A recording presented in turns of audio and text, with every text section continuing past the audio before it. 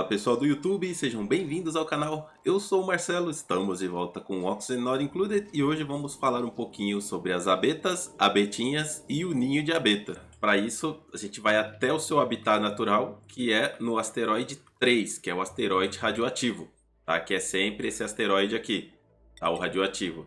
Lá embaixo, na parte inferior do asteroide radioativo, você vai encontrar o bioma radioativo tá? que é onde tem minério de urânio, tem enxofre, tem wolframito. Aqui você vai encontrar as abetas. Tá? O, que, que, essa, o que, que isso te traz de informação? A informação que te traz aqui é que a temperatura confortável das abetas é entre menos 10 e menos 90 graus.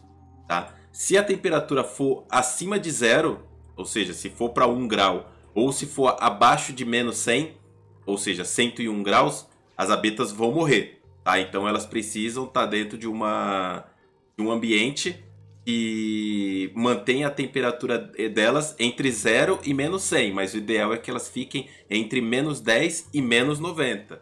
As abetas, quando elas estão na sua forma adulta, né, que é essa forma aqui, elas se tornam animais extremamente agressivos. Portanto, toma cuidado ao entrar no local onde tem um ninho de abeta, com o seu duplicante desavisado, senão o resultado pode ser catastrófico. Tá? Cada abelha vai dar uma picada no, no seu duplicante, tá? E logo em seguida ela vai morrer. Assim como as abelhas da vida real, né? Elas morrem depois da picada.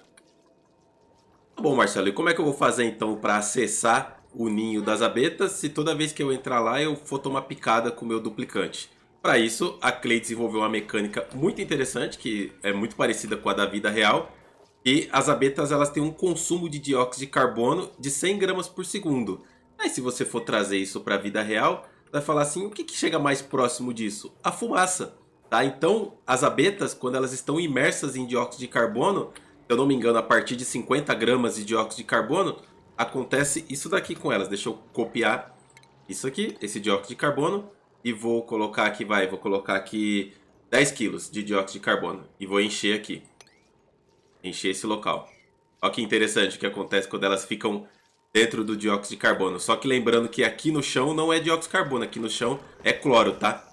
Ó, elas se acalmam e dormem quando elas estão imersas em dióxido de carbono, tá? Ah, lembrando que o chão aqui não está com dióxido de carbono, tá? O chão está com cloro, então elas vão ficar acordando e, e, e dormindo de novo. Então vou secar aqui o chão para que elas durmam constantemente. Vocês vão reparar que está acontecendo uma diminuição aqui dentro aqui do dióxido de carbono. Então vou acelerar o jogo agora. Olha lá, vocês viram? Elas estão dormindo. Ó.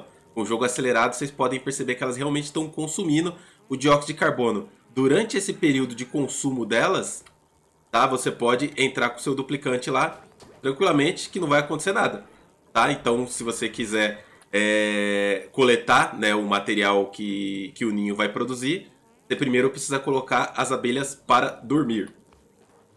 Tá bom, Marcelo, mas como é que esse bicho se reproduz? Bom, existem duas maneiras de você manter uma produção constante de abetas, tá? As abetas, elas por si só, elas têm um ciclo de vida bem curto, que é de 5 cinco, ciclos, tá? É o ciclo de vida das abetas, tá? E o ciclo se inicia ou através de um ninho de abeta, tá? Ou através de uma abetinha. Vou mostrar para vocês como aqui agora, tá? Aqui, se você encontrar o ninho de abeta é, no, no, seu bioma radioativo, provavelmente você vai encontrar ele dessa forma. E ele já vai ter algumas abetinhas ali no chão, já vai ter algumas abetas, tá? E, e ali você vai conseguir manter essa produção desde que você não suba demais a temperatura aqui ou você não escave o bloco do lado esquerdo, tá? Se você escavar o bloco do lado esquerdo, o, o ninho de abeta ele vai sumir. Olha lá, cavou o bloco, ele some, tá? Quando você tiver com o ninho de abeta no local lá onde você encontrou e você, por algum motivo, matou todas as suas abelhas, o que acontece? A cada um ciclo, eu vou acelerar o jogo aqui, a cada um ciclo ele vai despejar uma abetinha automaticamente. Vou aguardar. Após mais ou menos um ciclo, o ninho de abeta vai colocar uma abetinha na tela, tá? E essa abetinha ela vai é, crescer até mais ou menos dois ciclos e meio. Tá? Vai conferir se tem algum ninho de abeta dentro da sala. E se não tiver nenhum ninho de abeta, ela vai virar um ninho de abeta. Tá? Se tiver um ninho de abeta, ela vai ir para a fase adulta. Tá? Essa verificação é feita a partir do momento que a abetinha nasce, tá? A abetinha, ela não pula buracos, tá? Então ela vai se limitar até o... pelo caminho todo que, que ela tiver em cima, então ela não vai tentar pular nenhum buraco, ela vai ficar indo e voltando aqui, tá? Então tenha muito cuidado com a limitação de espaço das abetinhas, só que após elas atingirem a fase adulta, elas vão... Elas ficam com toda a sala disponível, tá? Tá, pera aí, Marcelo, não entendi direito essa mecânica aí da reprodução, tá? A primeira que eu mostrei para vocês é a mais simples, que é quando você encontra o ninho de abeta e a cada um ciclo ela vai colocar uma abetinha e a cada dois ciclos e meio a abetinha vai virar uma abeta grande e quando chegar no quinto ciclo ela vai morrer, tá? Essa é a simples, ó, aqui já acabou de colocar mais uma abetinha, tá? A outra mecânica é essa aqui. A partir do momento que a abetinha ela é separada numa sala, Vou colocar, vou separar aqui outra sala. Acabei de separar ela numa outra sala. O que, que ela vai fazer? Lembra que eu falei que ela está é, constantemente conferindo se a sala tem outro ninho de abeta? Ela está fazendo isso nesse momento. Ela está conferindo tudo em volta. Tá? Ela já percebeu que não tem outro ninho de abeta aqui uh, dentro dessa sala aqui que ela que ela está ocupando. Ah, Marcelo, mas quantos blocos? 128 blocos, tá? Que é o tamanho máximo de uma sala no jogo. Como saber? Você clica aqui no, no painel de sala, quando você coloca aqui dentro, ó, essa sala aqui tem 28 blocos, essa sala aqui tem 50 blocos, tá? Se passar de 128 blocos, deixa de ser uma sala e, e ela não vai fazer o ninho, tá? Ela vai, ela vai simplesmente virar uma abelha adulta e quando chegar no quinto ciclo, ela vai morrer. Agora vamos aguardar aqui. Ela, ela já fez a verificação, ela sabe que nessa sala aqui não tem nenhum ninho de abeta, então ela vai virar um ninho de abeta. Aí, como vocês puderam perceber, ela entrou aqui no estado de... Eu não sei se é metamorfose. Acho que é, né? É, aí tá o supletivo aí. É, ovo, pulpa, crisálida... Mas enfim, ela entrou aqui no estado de metamorfose. Então ela tá se transformando em um ninho de abeta. Tá? Esse processo inteiro, ele demora em média dois ciclos. É o tempo que vai demorar para a abetinha, na sua forma de bebê, né? A partir do momento que ela iniciar a metamorfose, tá? São dois ciclos, ou seja, 1.200 segundos até atingir o tamanho máximo do ninho de abeta. Tá? Então, somando com mais o tempo que ela vai demorar para produzir uma abetinha, o total são três ciclos para ela ter um ciclo completo de crescimento, né? até o ponto em que ela fica madura o suficiente para começar a produzir suas próprias abetinhas. Tá? Então a Betinha, é, se não tiver ninho na sala que ela se encontra, tá? ela vai criar um ninho de abeta. Tá, Marcelo, mas ela vai criar em qualquer lugar? Sim, desde que respeite algumas regras de colisão. Tá? Como é que você descobre? Como é que eu descobri as regras de colisão para ela produzir o ninho de abeta? Muito simples. Você pega um bloco, qualquer bloco, qualquer construção que seja, e você tenta construir em cima. Tá vendo? Ele não tá permitindo que eu construa aqui, nem aqui, ó, nem aqui, nem aqui. Mas aqui ele permitiu, ó. Fez a primeira betinha ali já, ó, tá vendo? E aí eu continuo circulando ele, ó. Ó. Aqui. Percebam que o jogo permite que eu colida objetos com a parte esquerda. Então, diferente do que parece visualmente, o ninho de abeta, ele não é 3x3, ele é 2x3, tá? Então, esse aqui é o limite de colisão. Então, qualquer sala que tenha 2 por 3, a abetinha vai criar o ninho de abeta na parte no bloco esquerdo. Tá? Ela vai criar, obrigatoriamente ela vai criar no bloco esquerdo, porque no bloco direito ela vai respeitar a colisão. Como do lado esquerdo não tem colisão, então ela vai ignorar esses blocos aqui atrás e vai fazer seu ninho aqui. Quer ver? Vamos fazer um teste. Vou remover o chão aqui. Vai morrer, né? O... Morreu. E agora vamos acelerar e aguardar para ela fazer a verificação. Ó, não tem mais ninho de abeta aqui, vamos apenas aguardar agora. Prontinho. Aí, como eu falei, tá? Ela ignorou a colisão do lado esquerdo, verificou que o bloco da direita é livre, tá? E verificou que três blocos acima é livre também. Então, ela iniciou o processo de metamorfose aqui do lado esquerdo. Tá bom, Marcelo, entendi todas as mecânicas aí, é, tô mestre agora já na arte de apicultura no jogo. é, não precisa de mais nenhuma informação. Na verdade, você precisa, você precisa saber o que, que as abetas fazem no final das contas, né? Porque até agora eu só mostrei as mecânicas, como elas funcionam, como acalmar elas, como elas se reproduzem. Tudo isso eu mostrei para vocês aqui até agora, mas eu ainda não mostrei para que, que isso tudo serve. Bom, primeiramente, o ninho de abeta ele é um conversor de minério. Então, o que, que as abetas adultas fazem? Tá? Eu vou trazer o Vitor de volta para cá, porque senão ele vai ficar tomando picada aí à toa. Vem para cá, Vitor, de volta. Você está proibido de passar para lá por enquanto. Beleza. O que, que as abetas fazem? Vamos invocar aqui algumas abetas. Uh, criaturas. Abetas. Abetas. Vamos invocar aqui algumas. Pimba, pimba, pimba. Tá? Eu estou invocando isso aqui é, por, por questões didáticas, né? Mas lembrando que um ninho de abeta ele vai produzir no máximo aí é, cinco abetas simultaneamente, tá? Então vai ter três abetas é, adultas, né? E duas abetinhas.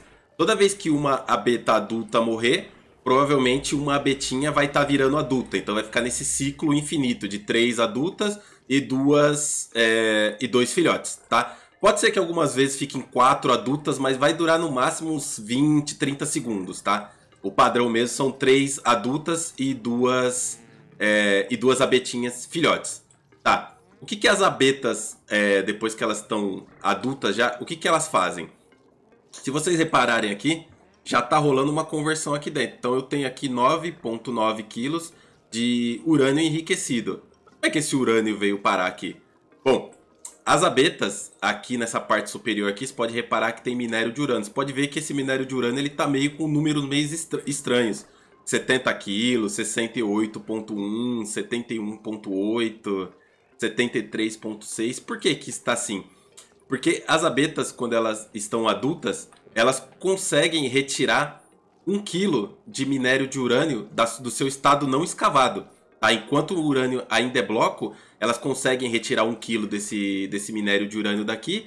E esse minério de urânio vem parar, ela, eles trazem aqui para o ninho de abeta e ele é convertido 90%.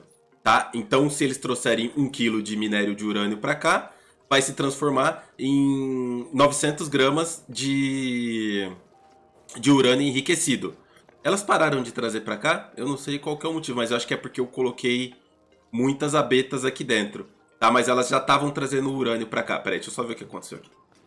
Aí, pronto. Consegui aqui dar uma pausa no momento exato aqui da, da escavação da abeta. Se vocês repararem aqui, ela ganha o status de vasculhando materiais, tá?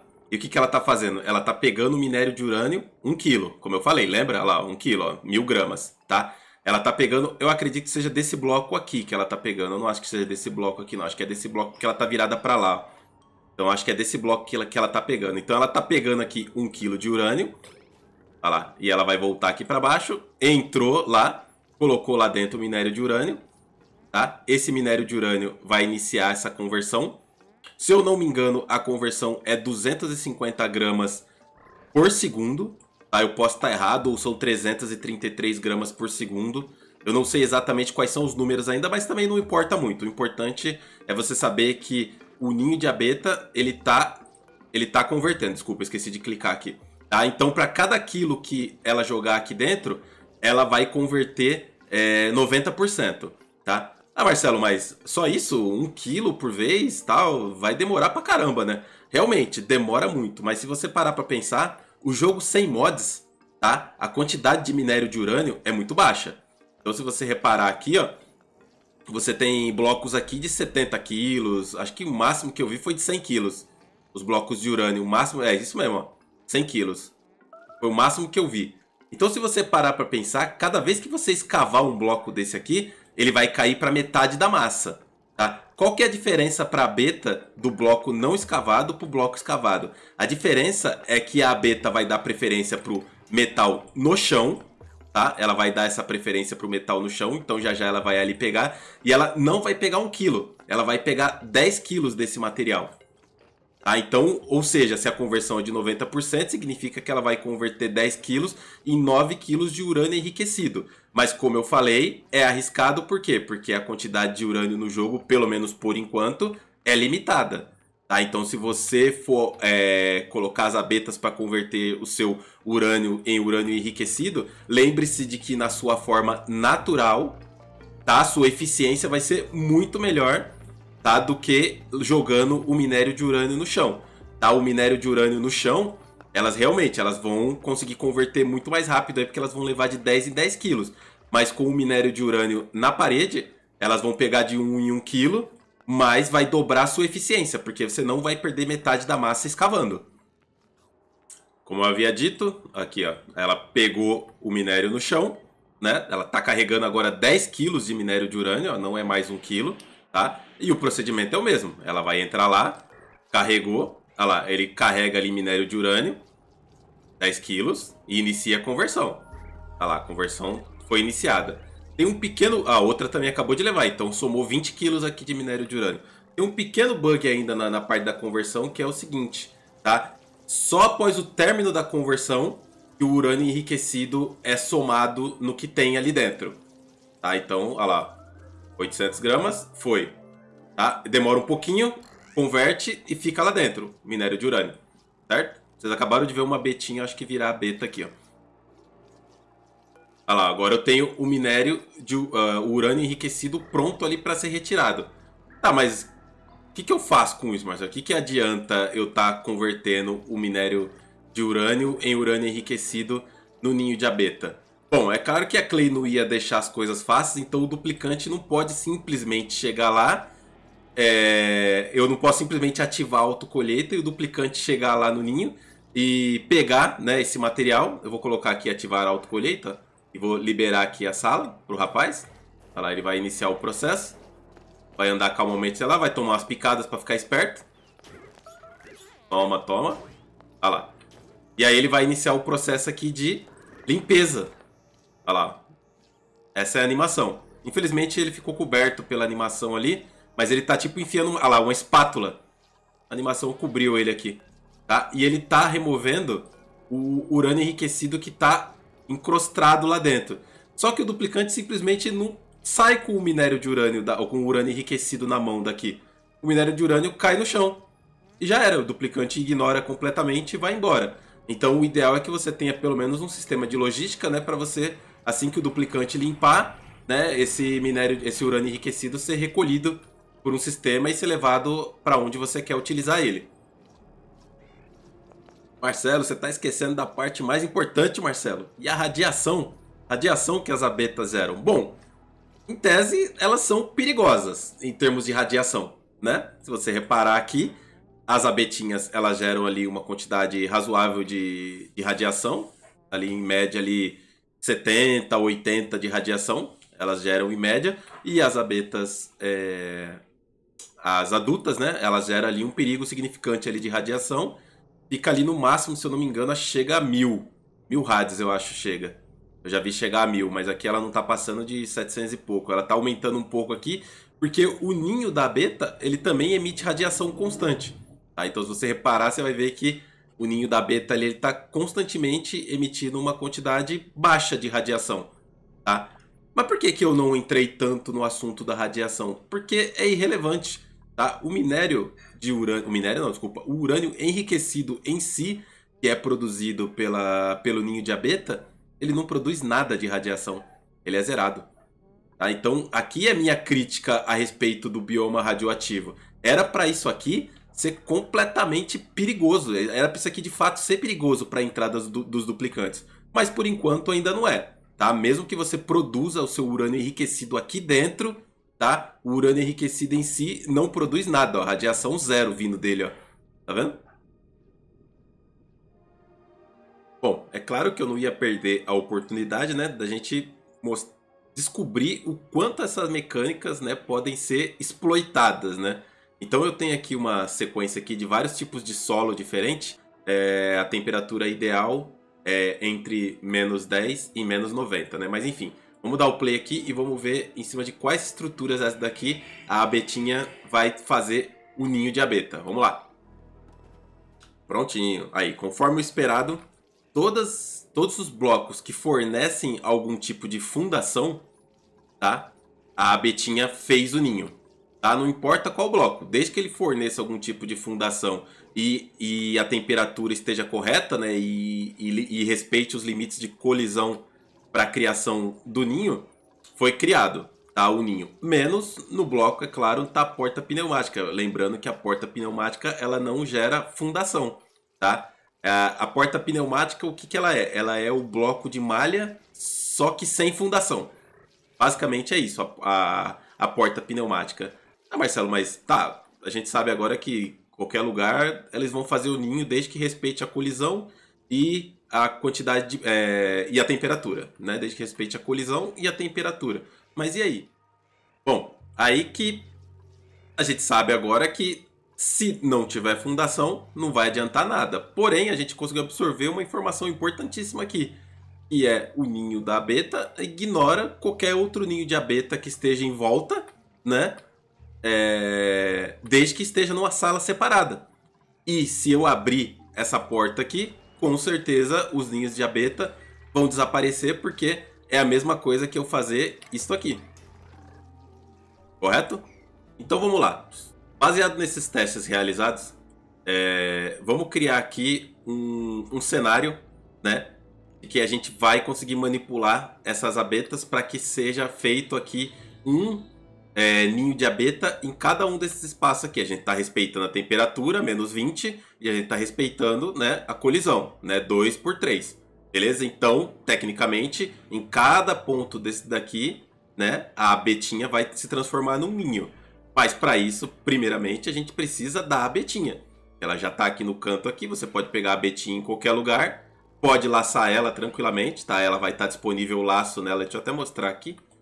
Já dei uma abetinha aqui embaixo, ó. Olha lá, o laçar nela está disponível. Tá vendo? Então o duplicante vai chegar lá calmo e tranquilamente e vai laçar essa abetinha. Então o que eu vou fazer aqui? Eu vou mandar trazer esta abeta para cá. Certo? O duplicante já está vindo buscar. Vou dar uma aceleradinha aqui. Pegou. E soltou ela aqui. Tá? A partir do momento que ela foi solta aqui, ela tá livre para trafegar entre essas salas aqui. Eu tirei o ponto de remoção, não preciso mais dele, né? E ela tá livre aqui para trafegar entre essas salas, de um lado para o outro. Correto? Agora nós vamos simplesmente aguardar. Nós estamos no ciclo 233. Vamos lá, vamos aguardar. Aí, percebam que no ciclo 234, mais ou menos 300 segundos depois, o ninho de abeta já foi formado ali, né? E isso aqui vai se transformar numa, numa dízima. Numa dízima, não, desculpa, numa progressão, né? Vai se transformar numa progressão, acho que geométrica, talvez, porque para cada é, ninho de abeta que for criado, né, as, as, minhas chances vão multiplicar. Então, cada vez que soltar uma abetinha, a minha chance de fazer um novo ninho vai ser aumentada. Então, isso só depende da sua criatividade aí para criar uma sala grande o suficiente, talvez com mais andares para a parte de cima, né? Também é possível fazer mais andares na parte de cima e eu já vou mostrar para vocês por que já já. Deixa rolar aqui mais um pouco. Vamos lá. Aí, conforme esperado, no ciclo 236 já saiu o primeiro, a primeira abetinha que foi produzida a partir daquela beta que a gente trouxe para cá. E agora ela tá só procurando o lugar, o local aqui para poder fazer o ninho de abeta. E ela não vai fazer aqui porque aqui já tem. E ela tem todas essas outras salas disponíveis aqui para criar o próximo ninho. É só aguardar. Lembrando que essa daqui, ela continua a produção dela de abetinhas, tá? Então, não para. Tá? Como eu disse, é, provavelmente isso aqui é uma progressão geométrica, porque é exponencial, né? Quanto mais eu tiver, mais vai, maior vai ser meu, meu, meu multiplicador, beleza? Aí, passagem do ciclo 237 para o ciclo 238. As duas abetinhas né, entraram em processo de metamorfose juntas aqui, ó. Então isso vai aumentar ainda mais as nossas chances de fazer mais ninho de abeta, né? Fora a outra abetinha que acabou de sair aqui e também é um ninho potencial, né? Olha aí, início do ciclo 239, temos nosso quarto ninho de abeta e assim que ele iniciou o processo de metamorfose, estava nascendo mais uma abeta aqui desse ninho de abeta. Né? Então provavelmente a próximo, o próximo nascimento já vai ser desses dois ninhos aqui que já estão bem avançados já. Início do ciclo 241, nós já temos 1, 2, 3, 4, 5, 6, 7, 8 ninhos de abetas e as abetinhas já prontas para fazer mais ninhos nos demais, né? Ou seja, a progressão disso aqui é muito rápida, né? Menos de 10 ciclos aí, a gente já está praticamente com tudo setado já aqui né? Vamos aguardar aqui mais um tempinho até que todos os blocos sejam, ou quase todos os blocos sejam completos aí com, com o ninho de abeta.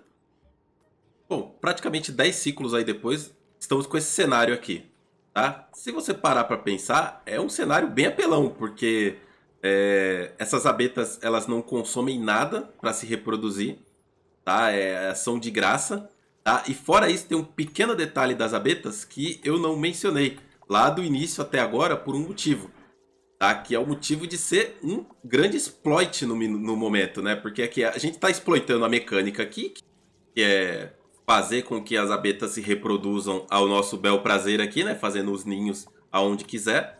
Mas tem um pequeno detalhe. As abetas, quando elas morrem, tanto as adultas quanto as selvagens, quanto as selvagens, quanto os bebês, quanto o ninho, tá? Eles dropam o lixo radioativo, tá? O lixo radioativo, por enquanto, ele ainda tá um pouco bugado no jogo, tá? Não tem nenhum local onde eu consiga armazenar lixo radioativo sólido, tá? Se eu procurar aqui na lista aqui, não tem lixo radioativo. Ele deveria estar no liquidificável, tá? Mas ele não tá no, liquidificável porque ele tá como, se eu não me engano, emissor de luz e sólido, tá? Mas a questão não é essa. A questão é que, por enquanto, os duplicantes só conseguem pegar garrafas de lixo radioativo. Por enquanto, o lixo radioativo líquido, ele só é gerado no reator de pesquisa, tá? Ele só é gerado aqui. Tá? Então não adianta, por, por mais que você tente fazer alguma coisa aí, o único lugar onde você vai gerar o lixo radioativo líquido, pelo menos por enquanto, é no reator de pesquisa. Quando você desconstrói o reator, o lixo radioativo que está dentro em forma líquida vira um balde e aí você pode esvaziar, por exemplo, no esvaziador de garrafa. Tá? Fora isso, o lixo radioativo que é gerado pela, pelas abetas quando elas morrem, os duplicantes não conseguem pegar. A única estrutura que consegue interagir com esse lixo radioativo sólido por enquanto é a estação do limpa-limpa, que é esse robozinho mardita aqui. Tá? Então com ele você pode pegar o lixo radioativo, só que você não consegue tirar ele daqui. Então você tem que colocar esse, essa estação em algum local que o, o, o seu limpa-limpa consiga pegar o lixo radioativo, tá? E você conseguir esquentar ele aqui dentro para que ele atinja a sua forma líquida. E aí na forma líquida você consegue processar ele em algum lugar. Eu não vejo muito motivo para fazer isso por enquanto no jogo, porque ainda tá meio bugado, tá na cara que não é essa a intenção dos desenvolvedores né? Mas por enquanto o único que consegue realmente interagir é a estação do limpa-limpa, tá? Os duplicantes não conseguem pegar, nem o autocoletor, porque o autocoletor não tem para onde levar, tá? Não dá para setar um local para levar, tá? E aí, com essa estrutura aqui, já nessas condições aqui, a gente pode simplesmente desconstruir isso aqui tudo, pimba. A partir do momento que isso aqui está desconstruído, as abetas vão conseguir acessar o minério de urânio aqui em cima, se você, caso você tenha feito no local aonde tenha o minério de urânio para ser escavado, né? Ou então se você fez em algum outro local que, que não tenha o minério dispo, disponível na sua forma de bloco, mas na sua forma escavada, né? Que aí você está trazendo manualmente ou através de algum sistema de, de automação. Tá? Isso tanto faz, tá? Você pode fazer isso aqui em qualquer asteroide que você quiser, desde que você leve a sua beta para lá, tá? É, para você conseguir transportar a beta de um, de um para o outro, né, de um asteroide para o outro, eu aconselho que você diminua a temperatura da sua cápsula do foguete e leve uma betinha lá para dentro para ela fazer um ninho de abeta, para você conseguir levar esse ninho de abeta numa viagem interplanetária. E aí lá ele vai criar uma betinha e você tira ela de lá e pode utilizar ela aonde você quiser. Tá? Mas por enquanto a parte da, da geração do lixo radioativo ainda tá meio bugada porque não tem muito o que fazer com o lixo radioativo. Beleza? Espero que vocês tenham curtido. Essa era toda a informação que eu tinha passar para vocês a respeito das abetas. Tá? Se caso eu tenha esquecido alguma coisa, deixa aí nos comentários. Eu acho que eu consegui passar tudo, acredito. Eu acho que eu não deixei passar nada aqui não. Acho que eu consegui englobar tudo aqui, tá? Então se você não tinha conhecimento de como manusear a beta, de como criar ela, de como gerar o seu o seu é, urânio enriquecido a partir dela. Tá? Eu não vou entrar na parte aqui radioativa de levar isso para o reator de pesquisa, isso é para um vídeo específico a respeito de radiação. Né? Espero que vocês tenham curtido. A gente se vê no próximo tutorial. Valeu! Falou!